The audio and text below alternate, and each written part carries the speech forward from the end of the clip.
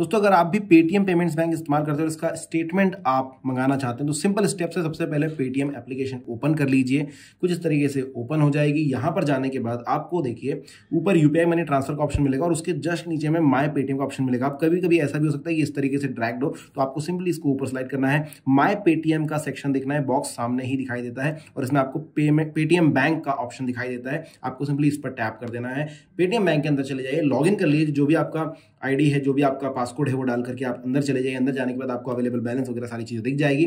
थोड़ा नीचे की तरफ़ ड्रैग करेंगे तो आपको पता चलेगा कि रिक्वेस्ट स्टेटमेंट का ऑप्शन यहाँ पर दिया गया है। अब ये टैब आप जैसे ही करते हैं तो यहाँ पर देखिए, सबसे पहले टाइम पीरियड आपको सेलेक्ट करना होगा। मैं कर लेता हूँ वन मंथ का। इसके बाद फॉर्मेट कौन सा चाहिए आपको? देखिए, तीन फॉर्मेट है यहाँ पर। पीडीएफ एक्सल सीएसवी आपको जो भी चाहिए मैं पीडीएफ में यहाँ पर मंगाता हूँ। इसके बाद दो ऑप्शन दिखाई देते हैं। भाई स्टेटमेंट किस चीज़ पर चाहिए? एसएमएस पर या फिर ईमेल पर? देखो एसएमएस पर कैसे कोई पीडीएफ भेजेगा तो आपको यहाँ पर सिंपली एक लिंक भेजी जाएगी, जिससे आप पीडीएफ डाउनलोड कर सकते हो।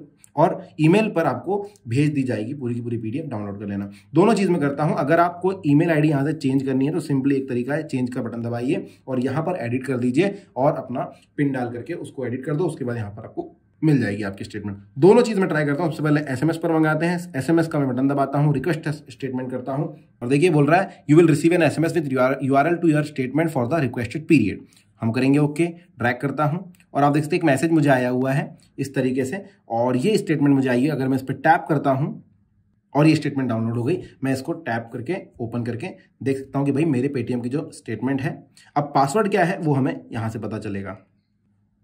अकाउंट नंबर आपका पासवर्ड है तो अकाउंट नंबर हम डाल देते हैं भाई। ओपन और ये देखिए अकाउंट नंबर डालते ही पूरी की पूरी स्टेटमेंट हमें मिल चुकी है एक महीने की, कि भाई क्या क्या ट्रांजेक्शन हुए हैं ओपनिंग बैलेंस कितना था, ये सारी चीज़ें। अब अगर मैं ईमेल पर चाहूँ तो मैं ईमेल पर टैप करूँगा रिक्वेस्ट स्टेटमेंट करूँगा और देखिए, इन्होंने बोला you will receive an email with your statement for the requested period okay देखते हैं, मेल आया है क्या? मेल तो कुछ आया हुआ है, लेकिन सिविल की तरफ़ अच्छा नो रिप्लाई पेटीएम की तरफ़ से भी आया हुआ है। इस पर हम टैप करेंगे। और आप देखते हैं पेटीएम पेमेंट्स बैंक स्टेटमेंट इतने तारीख तक से इतने तारीख तक की है। आज पाँच दिसंबर है तो चार दिसंबर तक की इन्होंने हमें भेज दी है। मैं नीचे ट्राई करूँगा, देखिए मेरी स्टेटमेंट है। सेम चीज़ आपको डाउनलोड कर लेनी है यहाँ से। जैसे ही डाउनलोड हो जाता है, आप इस पर टैप करेंगे, टैप करने के बाद ड्राइवर पीडीएफ में खोल लेंगे और उसके बाद डायरेक्टली ओपन हो जाती है। यहाँ पर कोई पासपोर्ट लेने की ज़रूरत नहीं पड़ी हमें। तो ये है दोस्तों तरीका स्टेटमेंट डाउनलोड करने का पेटीएम के अंदर। तो अगर वीडियो पसंद आया है, लाइक, सब्सक्राइब, कमेंट ज़रूर कर देना। मैं मिलूँगा नेक्स्ट वीडियो में। थैंक्स।